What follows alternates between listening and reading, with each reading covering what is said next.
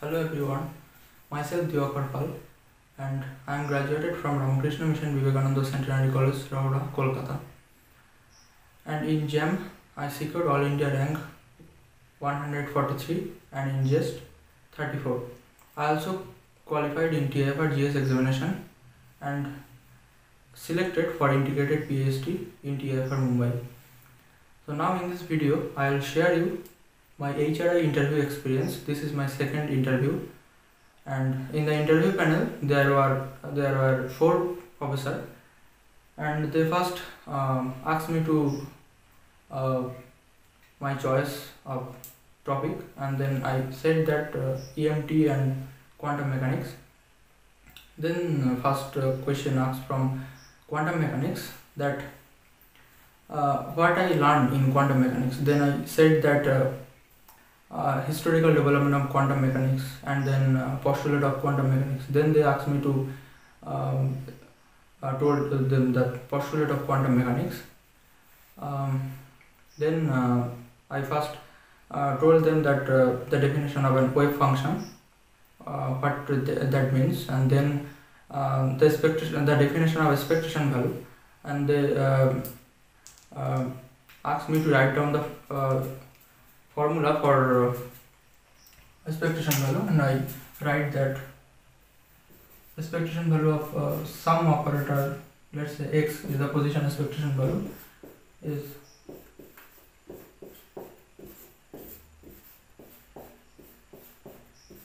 something like this.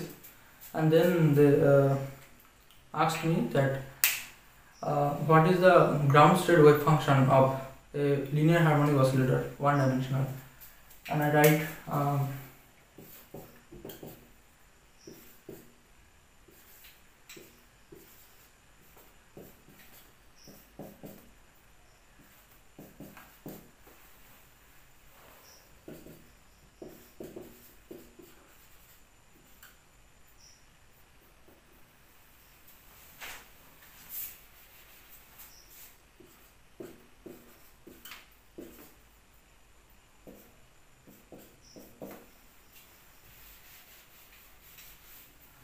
So here A is a constant. Uh, it contains m omega uh, pi and etc. And C is another constant. This xi is linearly related with x, and this is just uh, uh, this uh, say the nature of this equation. This is not the exact form, and here h um, is a Hermite polynomial um, here uh, is zero value is one so I put it here. And then they uh, asked me to to calculate the expectation value of position in ground state. So this is the ground state wave function and then I have to calculate the expectation value of position.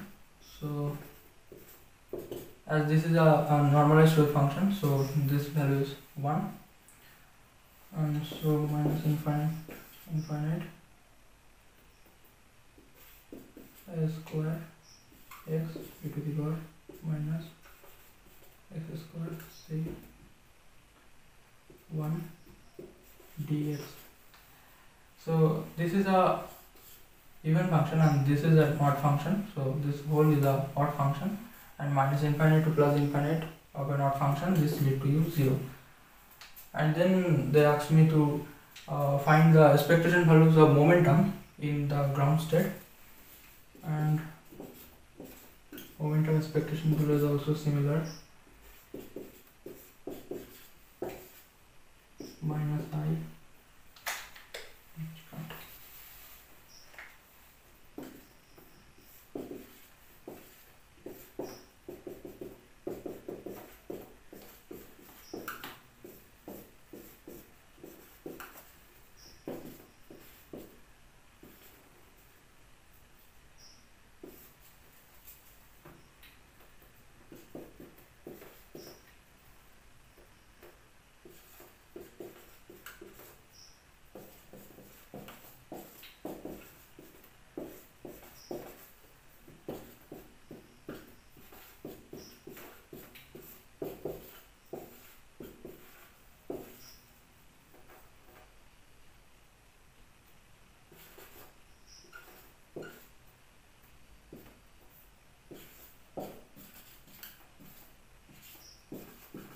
so here it is again an odd function. Minus infinite to plus infinite. This give you 0 and then they asked me uh, write down the uh, wave function of fast excited state so for fast excited state this is 1 and there is a x. So for that they again asked me to calculate the expectation values of position. And in that case this is um, non-zero. Um, because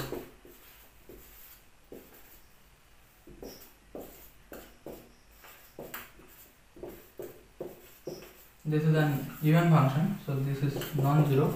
But in that case the moment expectation values of momentum is again zero. So if we calculate it we'll get a odd function and then again it gives you zero. So that's the first question. And then another professor um, asked me and he draw figure like this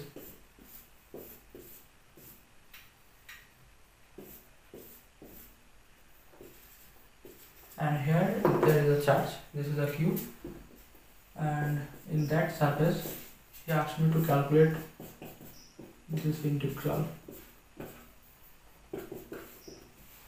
Now from Gauss law we know that this is equal to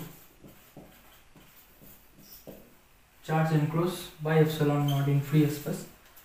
So here uh, he asked me to calculate the value of this integral in for a particular this surface. This is a one surface of uh, among these eight surfaces now um, if we uh, take another 8 cube like this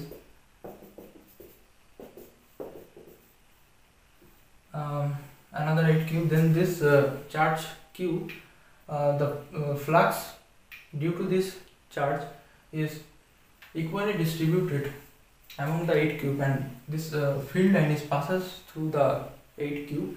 So for a particular 1 cube the value of this uh, the, the flux is 1 by 8 of the total flux. So here the flux through this uh, cube is simply q by 8 epsilon naught and as this surface and this front surface and this bottom surface the electric field line is parallel to the surface. So uh, the contribution for the flux is going to zero and only three surface will contribute to this flux. And and this integration for I have to calculate for one single surface so I have to divide this value with the 3 and so the result is become q by 24 epsilon naught. So this is the answer. Now another professor asked me to draw a diagram that so this is a mirror and here is a person he has an eye. And this is the top of his head. This is the eye. And the distance is x. And his total height is capital H. So this distance is h minus x.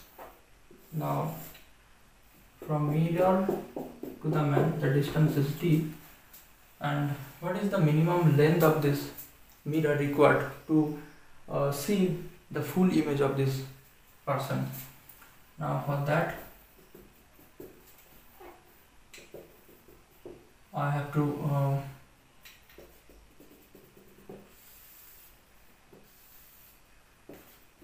so the ray coming from here reflected by this mirror and um, hit by the eyes. Another ray coming from this side will come to that point and I named P, Q, R, S. So so in in this triangle in this triangle we can write it as r s divided by h minus x is equal to this is also d uh, d divided by 2d so here rs equal to h minus x by d similarly for the upper triangle this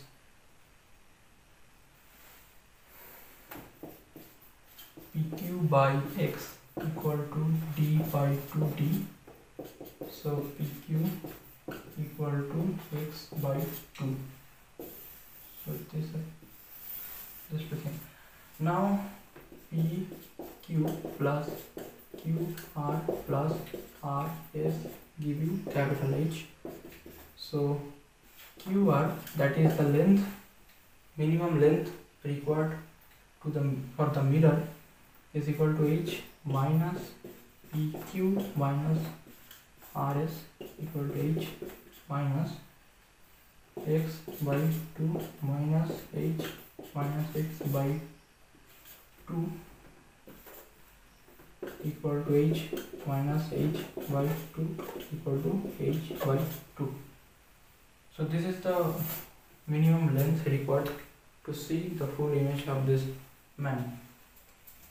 Now another professor asked me that what is the minimum length of this mirror? So that is this. And what is the minimum height of the mirror? So minimum height of the mirror means qr plus rs that means this distance plus that distance. This is the height of the mirror so that is simply h by 2 plus rs. h minus x by 2 and h minus x by 2 so this is the minimum height of the mirror so these are the whole experience of HRI interview. So thank you